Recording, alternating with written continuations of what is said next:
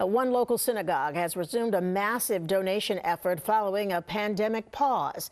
Temple Emanuel on the Upper East Side held its first mitzvah day after a two-year hiatus. Volunteers gathered at the temple to pack goods for nonprofit groups around the city. The items were collected as part of a dozen different projects.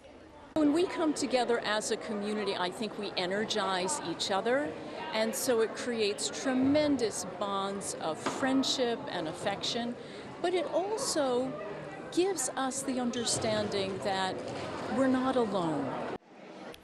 Even during the pandemic, the donations never actually stopped, with people working individually instead of in groups.